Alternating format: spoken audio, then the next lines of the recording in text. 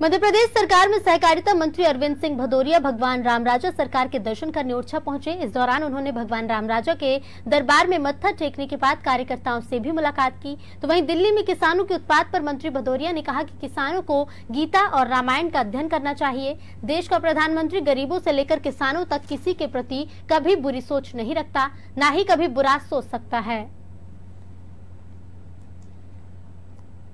आज राम राजा के चरणों के दर्शन करने आए थे। मनोकामना एक ही है कि मध्य प्रदेश के विकास में, माननीय मुख्यमंत्री शिवराज सिंह चौहान के नेतृत्व में जनता को विकास की योजनाओं को द्वारा सुखानुभूत का एहसास हो।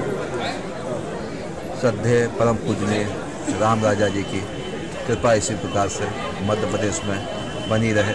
ये वास्तव में जो लोग हैं, ये राष्ट्र को मज़बूत नहीं कर रहे, राष्ट्र को कमज़ोर कर रहे हैं। यह जो कृषि बिल है, मैंने पढ़ा इस देश के किसानों के लिए, गीता है, रामायण है, मैं विनम्र प्रार्थना करना चाहता हूँ किसान बंधुओं से, इसका अध्ययन करिए।